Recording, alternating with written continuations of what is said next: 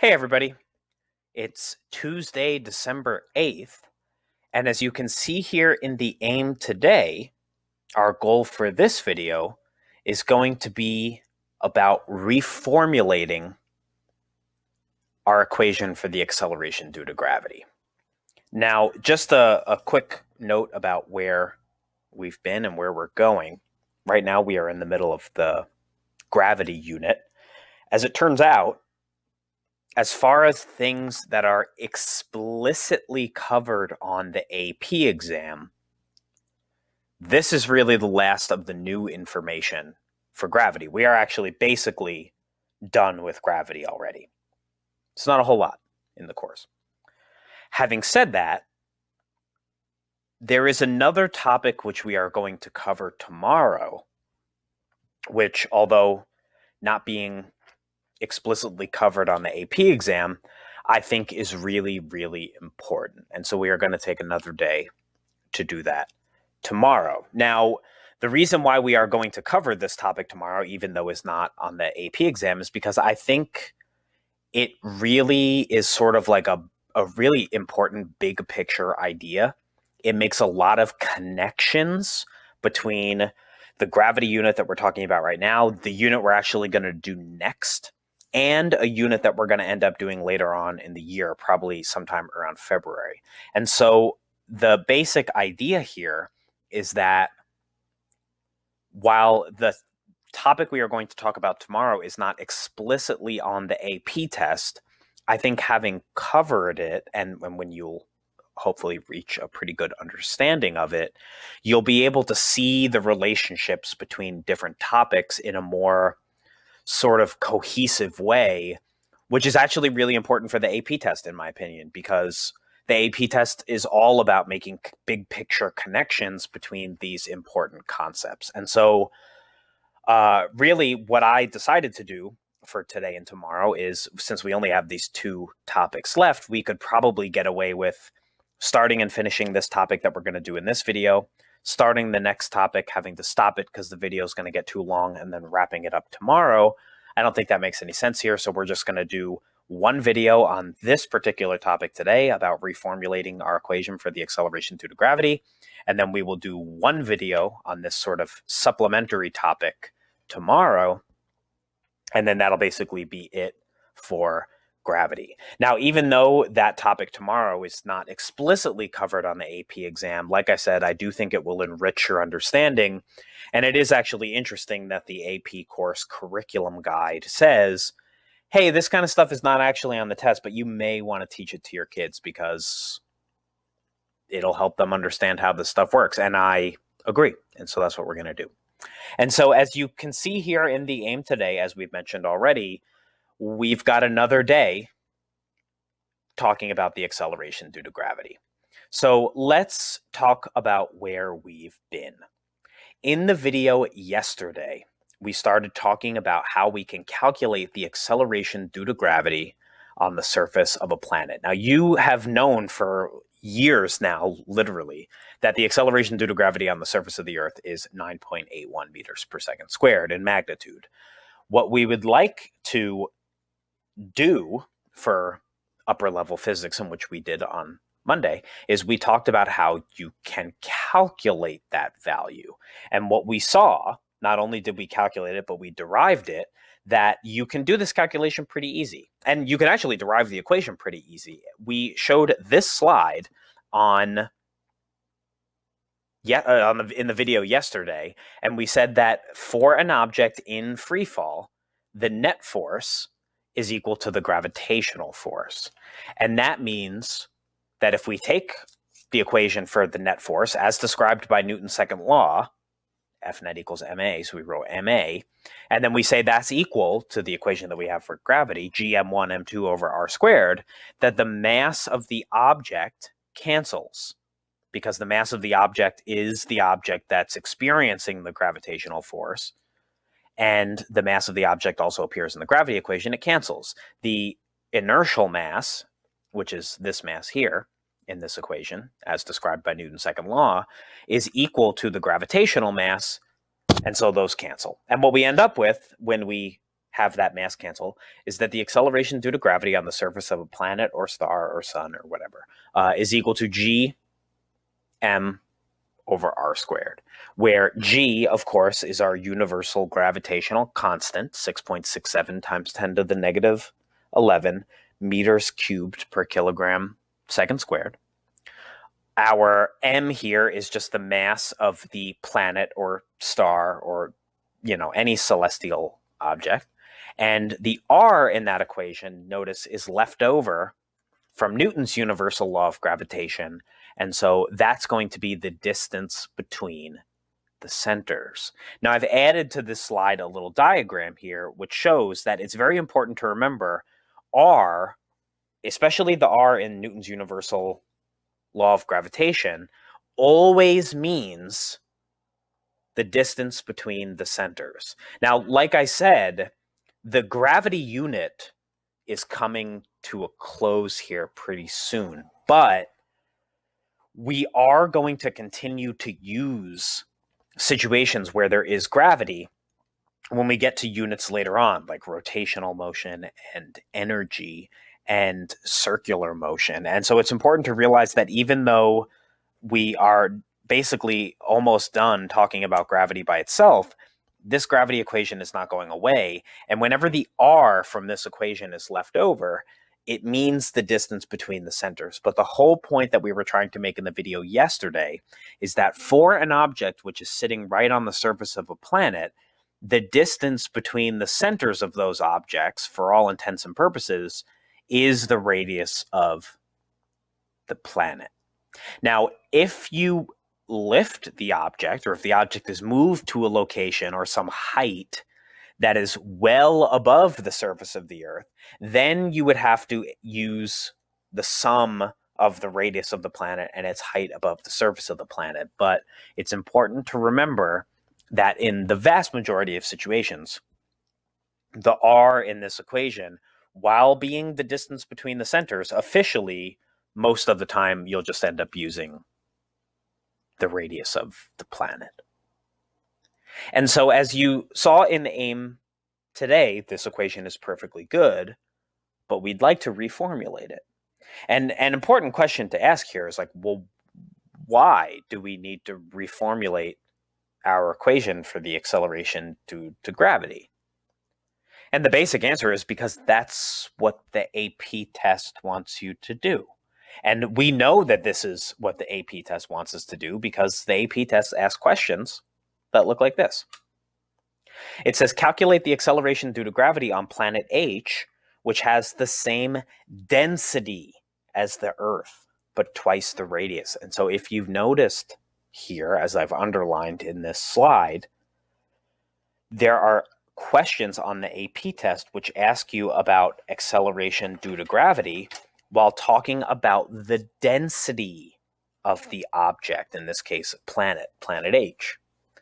And so, what we would like to do, because this question kind of demands it, is we would like to reformulate our equation for the acceleration due to gravity to include the density of the object. And so notice here in our original version of the equation, there is no term for the density. And what we'd like to do is derive an equation where we can work in the density of the object. And we're going to do that here in a minute. But the first thing I want to do just to kick us off here is I'd like you to write down a couple of important notes related to this topic. And I'd like you to write this under the heading density dependent gravitational acceleration. And so the first thing we'll say here is that the mass of a celestial object is important. And so is its radius, because they give us information about the acceleration due to gravity on the surface of that celestial object.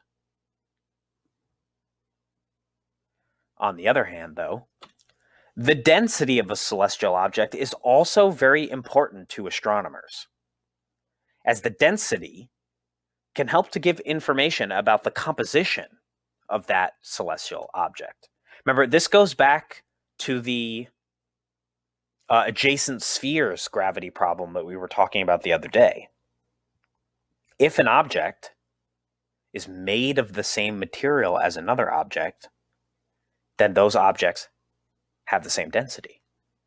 And that's like a pretty easy scientific experiment that you could do. If I tell you, here are five different materials, let's just say it's like steel, bronze. Well, steel is a is a combination of different materials, so maybe we won't say steel, but like let's just say it's like bronze, iron, you know, brass, whatever. If we were given a mystery object and we said, you don't know what this mystery object is, but it's one of those materials, figure out which one it is, finding the density would be a super easy way to do it. Because if we figured out that like this mystery object has the same density as the bronze object, then the thing is made of bronze. You follow? Okay. So let's just write down here also, because this is important, same material, same density.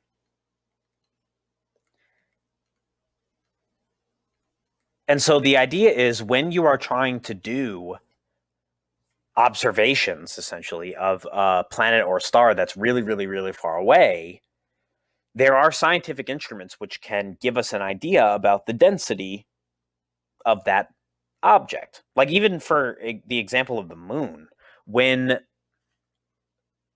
astronauts walked on the moon, they took back like boxes and boxes and boxes of, of rocks from the moon. And experiments that scientists back on Earth here did with those moon rocks is finding out things like the density of those rocks, because that gives us insight into what the moon is made of. And so the last thing we'll say here, obviously, which I mentioned before, is that therefore, because the density is an important uh, number, we'd like to also come up with a version of the equation for the acceleration due to gravity in terms of the density of the celestial object. Go ahead and pause this video here and write those three things down. And when you hit play, we'll go ahead and derive that equation.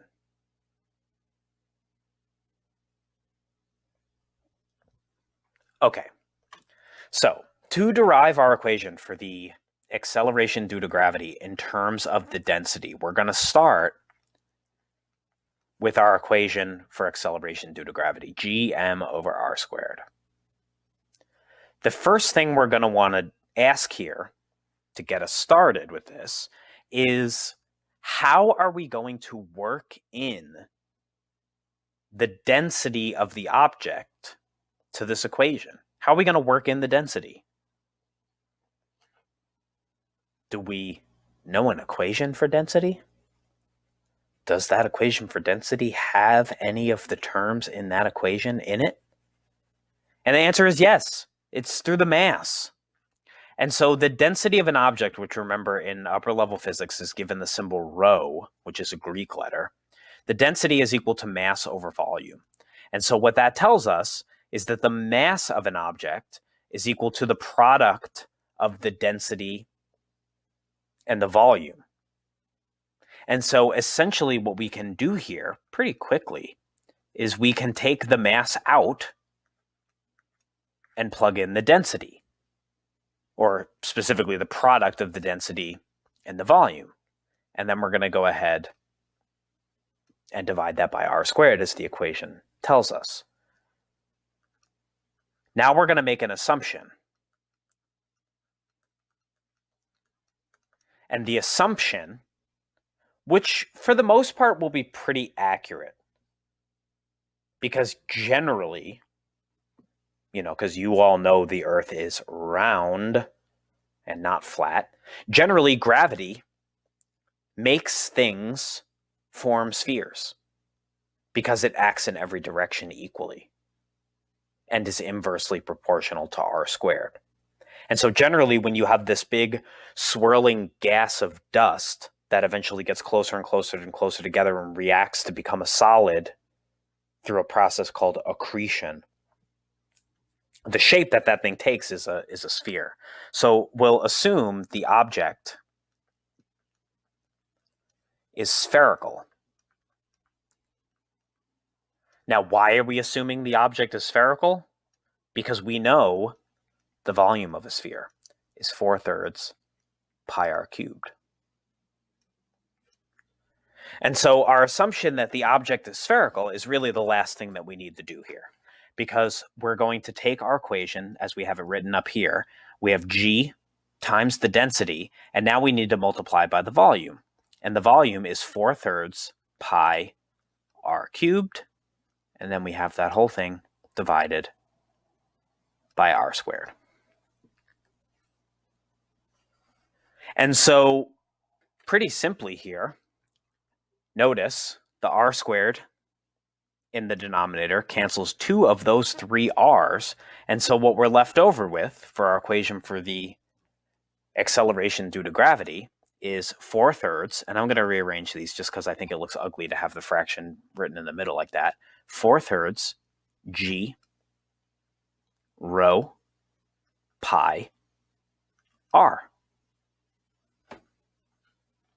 And that's our equation. The acceleration due to gravity is equal to 4 thirds g rho pi r.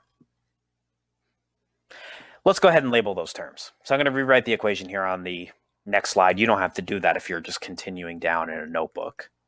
4 thirds g rho pi r, where g, of course, is the universal gravitational constant, 6.67 times 10 to the negative 11 meters cubed per kilogram second squared. Rho is the density of the object. And just as an important note, you may remember this, but uh, since density, rho, is equal to m over v, that means the units are going to be kilograms per meter cubed. It has to be in the standard SI units in order to make the units work out here, right? Because if you put it in like grams per centimeter, you're not going to get the proper combination of the units that you need. And we have pi, of course, is pi, so I'm not even going to list that. And r is the radius of the planet. or is it? It's really the distance between the centers. Very important thing to remember.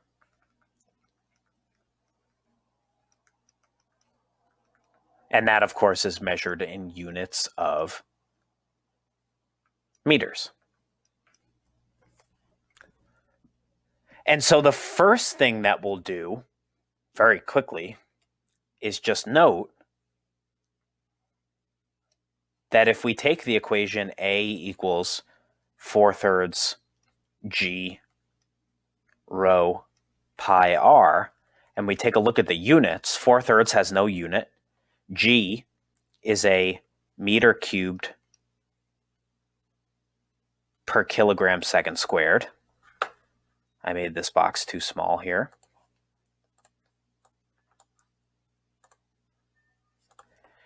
Rho is measured in kilogram per meter cubed. And the radius, or the distance between the centers, is in meters. So notice this meter cubed cancels that meter cubed, that kilogram cancels this kilogram, and what we're left over with is the acceleration due to gravity in units of meters per second squared. So the units do in fact work out to meters per second squared. That's a good sign that we didn't mess up the derivation. But we also have a pretty good, pretty big question to answer. Does this equation actually work? Well, there's only one way to find out. And we're going to do that by actually using it to do a calculation. So this question here, the first one that I want us to do, says, what is the acceleration due to gravity on the surface of the Earth? Now, as we just saw, I'm going to go back real fast. We need big G, we need the density, and we need the radius. So, in writing down our list of knowns here, we have big G equals 6.67 times 10 to the negative 11 meters cubed per kilogram second squared.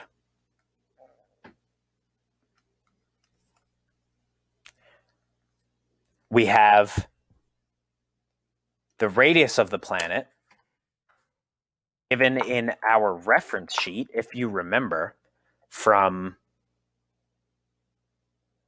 last week, I posted a reference sheet with various planetary data. And just going to the last chart on the reference table, or on this reference sheet here, you can see that the radius of the object, the Earth here, is 6.37 times 10 to the 6 meters. So we'll put here 6.37 times 10 to the 6 meters. And now we need the density. So we look on our sheet. Orbital radius, orbital period, radius, mass, eccentricity. Mass, radius, period, mean distance from the sun, period squared over r cubed. Nope. No density. And no density. These tables don't have the density on them. And so, should you see these on the homework, because remember, this first question that I showed you, the kind of question they ask on the AP test, is a one one one rule problem. And so, if you are ever doing these calculations on homework and you need the density, just Google what is the density of the Earth. And we have here 5.51 grams per centimeter cubed. Oh, that's annoying. Or is it? Luckily, we spent time talking about how to do these conversions at the beginning of the year. So let's just make sure we remember that 5.51 grams per centimeter cubed. 5.51 grams per centimeter cubed. And let's just go to a new slide here real quick. 5.51 grams per centimeter cubed now we got to do a little unit conversion. So let's get rid of those grams. We'll do that by putting it in the bottom. That means we're going to put the kilograms up top. And we know that for every one kilogram, there are 1,000 grams. And we know that if we want to get rid of that centimeter cubed, we're going to have to put centimeters in the top and make sure we cube our whole conversion factor here and then we're going to put meters in bottom. And of course, one meter is 100 centimeters. And so if you take 100 cubed, you get 1 million. 100 times 100 times 100. Or really, notice here, this is 10 to the 2 cubed. And so we multiply those exponents here, we get 10 to the 6. So that's a million. And so now we have a million divided by a thousand, right? Because this is a thousand. So we have 10 to the six over 10 to the three. And when you divide powers of 10, you subtract the exponents. So that means this whole conversion factor works out to be a thousand. And so now we have 5.51 times a thousand. And so that means our density here is just going to be 5510. Notice grams cancels grams. So we have kilograms centimeters cubed cancels centimeters cubed, and so we're left over with a meter cubed. 5510 kilograms per meter cubed. So we'll write that down here 5510 kilograms per meter cubed.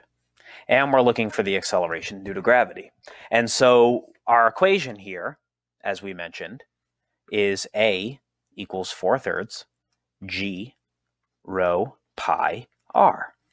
And so we have A equals 4 thirds, G 6.67 times 10 to the negative 11 meters cubed per kilogram second squared times rho 5510 kilogram per meter cubed times pi. And I'll put that in parentheses too, just to format it like the rest of the equation. And then we multiply by the radius, which is 6.37 times 10 to the 6 meters.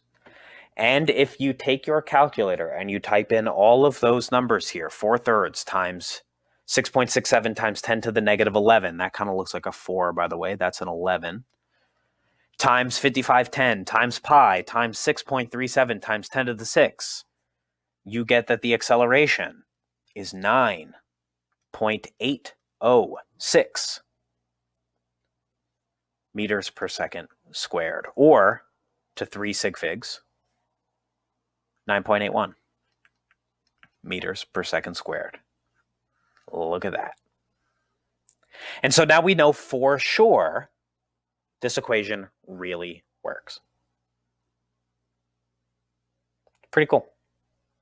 Now, as I mentioned, the vast majority of these problems that you're going to see, and really just because that's how uh, they're asked on the AP test, these kind of questions are really just going to be 111 rule problems.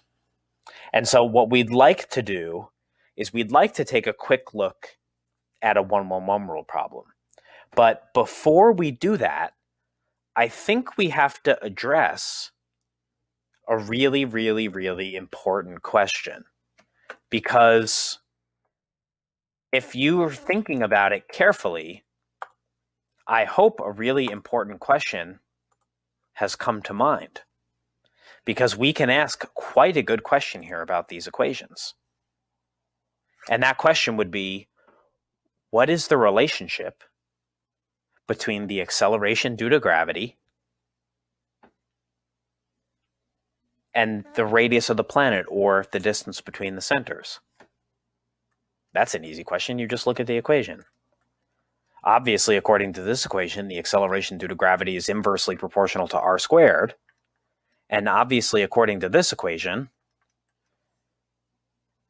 the acceleration due to gravity is directly proportional to r. What? We have a big problem on our hands. We have two equations for the acceleration due to gravity. They both definitely work. We use this equation to calculate the acceleration due to gravity on the surface of the Earth. We got 9.81. We did that yesterday. We use this equation just now to calculate the acceleration due to gravity on the Earth, and we got 9.81. What's the relationship between the acceleration due to gravity and r? I want you to write this down. This is very important.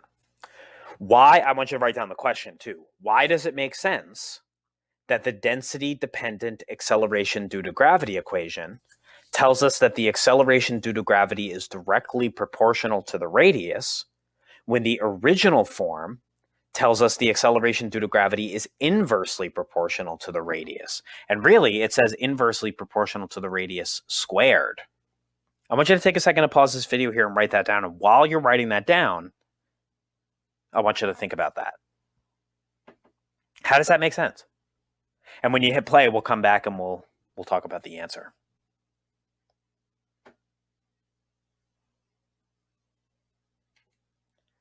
Okay. So the key here is in looking at the question. The question, and let's go all the way back to the very beginning where we looked at the question. The question says calculate the acceleration due to gravity on planet H, which has the same density as the Earth, but twice the radius. And so it's important to realize if we're talking about keeping the density the same, you have to realize that density is mass over volume. And that that means we can write mass as being density times volume. And if the density is in fact the same, then that means the density as a constant establishes the relationship that the mass is directly proportional to r cubed. And so the basic idea here is that if we only change the radius of the planet while leaving the density constant, then we'd also have to change the mass and we'd have to increase it to keep the density constant, right? Think about m over v as a fraction. The r cubed in the volume if the radius got bigger, the volume would increase. So to keep the proportion the same, so that the density was the same, the mass would have to go up too. And so since the mass is directly proportional to r cubed, while the acceleration due to gravity is only inversely proportional to r squared, if we account for the density being constant, both equations tell us the same thing. The idea here is that the acceleration due to gravity is inversely proportional to r squared. Because if we take the equation, a equals 4 thirds g rho pi r, and we put the equation for the density in mass over volume, which is 4 thirds pi r cubed, and then times pi times r, you can see that that r will cancel one of those r's, and we get that the acceleration is inversely proportional to r squared. So ignore what the density dependent equation seems like it's telling you the relationship between A and R is. Remember, you can only do these kind of comparisons where you say something is directly or inversely proportional to something else if everything else in the equation is constant. And if you do that, keeping the density constant while increasing the radius, then you'd have to increase the mass. And since this equation sort of hides the mass, you'd have to be careful about that. Take a second to pause this video here and write that down. And when you hit play, we'll move on.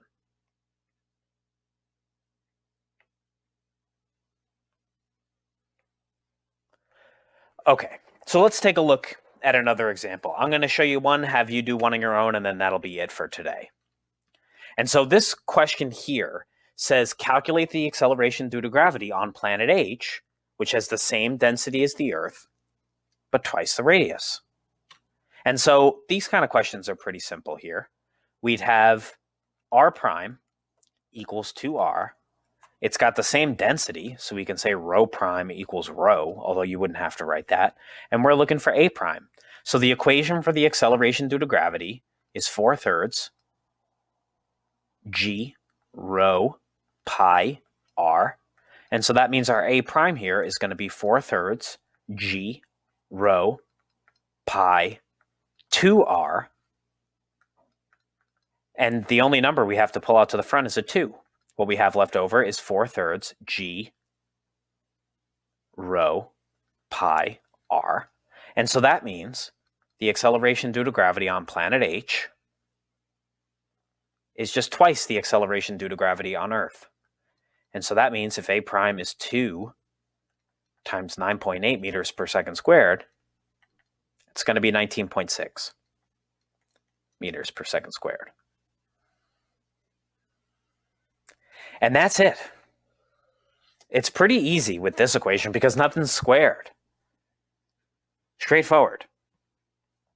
Now, I just want to take a quick second to talk very briefly about the last thing I just said because I feel like that's pretty confusing. One equation makes it look like A is directly proportional to R. One makes it look inversely proportional to R. How do we possibly reason our way through that? I think maybe looking at it using this problem will help it to make a little more sense. And so the basic idea here is that the R is changing while the rho is constant. And so a good question to ask here would be, well, what's going to happen to the mass? Well, as we said, the density is mass over volume. So that means mass is rho v, which means it's rho times 4 thirds pi r cubed. And so if the mass is equal to rho times 4 thirds pi r cubed, that means m prime, if the density is the same, is 4 thirds rho times pi times 2r cubed because remember we said the the radius is doubling.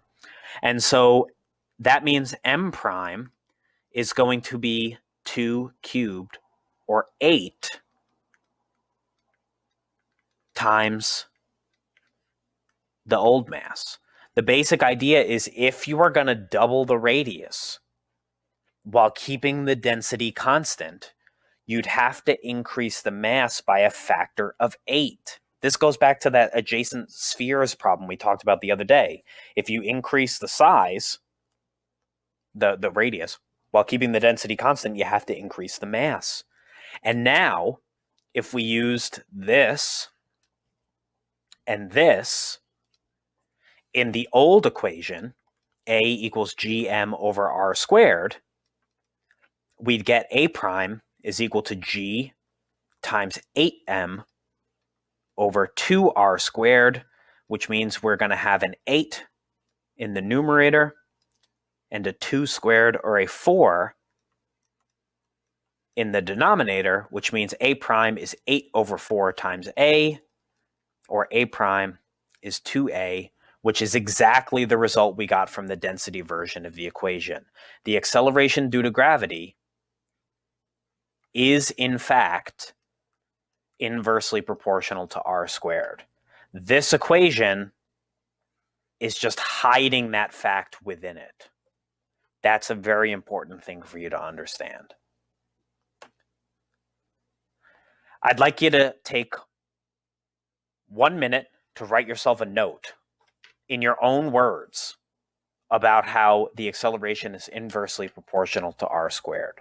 So go ahead, pause this video, write yourself a note for like one minute about how the acceleration is inversely proportional to r squared in your own words. And when you hit play, we'll do one more problem for today and then wrap it up.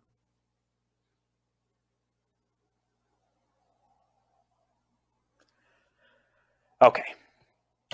Last problem of the day here. It says a newly discovered star has a density equal to one third of the density of the sun and a radius equal to twice the radius of the sun. What is the acceleration due to gravity on the surface of this newly discovered star? And I put it here so you didn't have to go back and look for it. Remember, we calculated the acceleration due to gravity on the surface of the sun as being 274 meters per second squared. So I'd like you to pause this video and take a couple minutes what is the acceleration due to gravity on the surface of this new star? And when you hit play, we'll go over it, and that'll be it for today.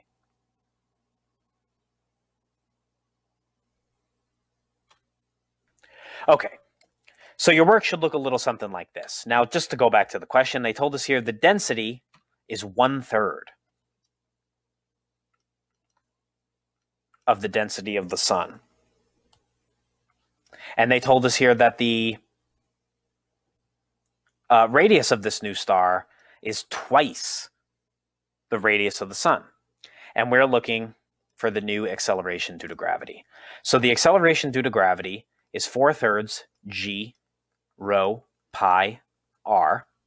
And so that means we have 4 thirds, a, for our a prime equation, we have 4 thirds g, 1 third rho times pi times 2r.